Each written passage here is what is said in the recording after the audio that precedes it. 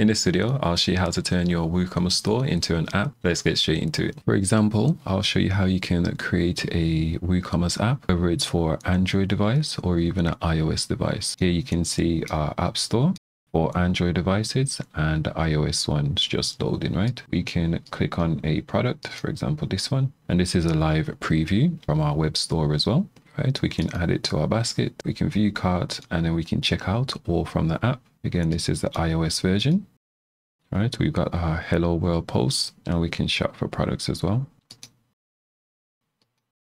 So if you want to create a similar setup to this for your WooCommerce store, I'll show you how to do so. It's worth mentioning that this particular video is based on this article here, where it lists a few different methods in how you can actually create your own app store. So you'll see the written version of how to create it using a plugin, how to use a third party app builder, or even hiring a developer as well. So I'll leave a link to this particular article in the description below. And with that being said, let's get straight into it. So the first thing we want to do is actually sign up for an account on this My App site here. Okay, let's hit get started. And we're going to create our first app, right? So this is a WooCommerce app. We'll give it a name. So we'll say AOV App Store. We'll enter in our website URL here and then hit create. So we've got this handy checklist to guide us through the setup process, right? So for example, we can go ahead and customize our app icon first. We can start designing or we can upload an image if we've already got a design of our app. So I'm going to hit start designing for now. I'm happy with this design, so we'll hit save. Now we can go ahead and customize our splash screen. So hit start designing. Again, if you've already got this um, mapped out and designed already, you can just upload it.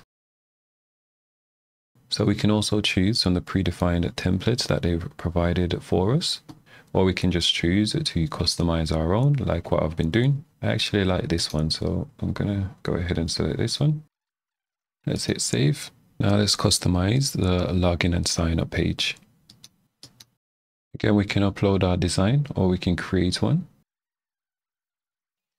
Okay, now let's go ahead and configure our color theme. Okay, now let's move on to our home screen. Okay, so we can remove the home header, which doesn't make sense, but you could do if you wanted to. We can also customize it. So again, a lot of these options I'm just going to skip through and you can go ahead and tweak it as needed, right? Essentially, we've got the option here to customize it and then we can see a preview of how it will look for our customers based on the device that they're using as well. Maybe we want to disable the product category, right? We want to show on sale items. Okay, and then once you're happy, you can just hit save changes. Here we can customize the navigation on the bottom bar of the screen. So we've got the home link, which makes sense, a shop link category, and any other videos you might have as well. So here we'll just enter in our YouTube channel just hit save it changes once you're happy with everything. We can go menu.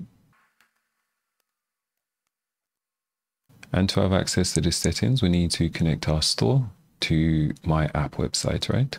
So I'm just going to head over to connectivity here. I'm going to download the plugin or we can just hit install here. Since we've already entered in our website beforehand, it will automatically take us over to this page. So we can hit install and then we can activate it.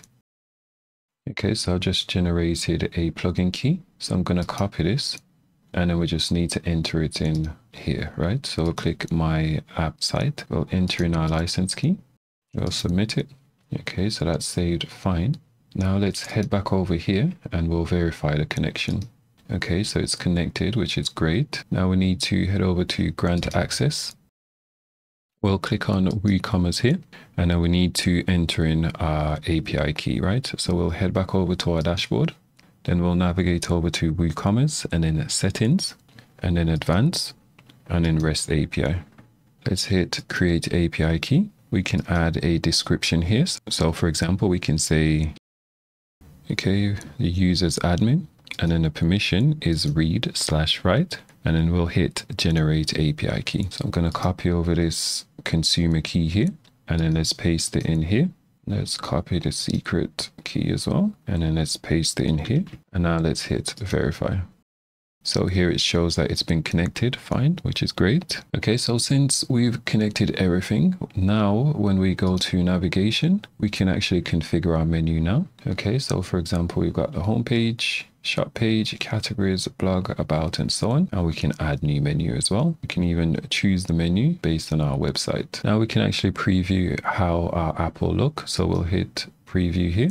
Okay, and we can test it on iPhone and Android as well. Okay, so we can preview how our app will look on iOS or even on Android. So I'm going to select Android for now. And this is how our store will look on Android devices. Okay, so we can scroll up. We can go ahead and click on a product. So again, this is live products from our website. Can add to cart and then go ahead and check out. So once you're happy with your app, then you do need to purchase a monthly subscription, which starts from $19 at the time of recording this, right? And then you can go ahead and submit it onto the Android store or even the Apple store, right? So you'll just hit publish and then of course you need to upgrade, right? So we're running a WooCommerce app, which starts from $19 a month. Okay, so we'll select this one. Okay, then you can choose your plan and then go ahead. There's even a lifetime package, which I wasn't aware of. So if you didn't like the monthly fee, then you can choose a one-time payment. Like and subscribe for more videos like this. And if you've got any questions, leave it in the comment box.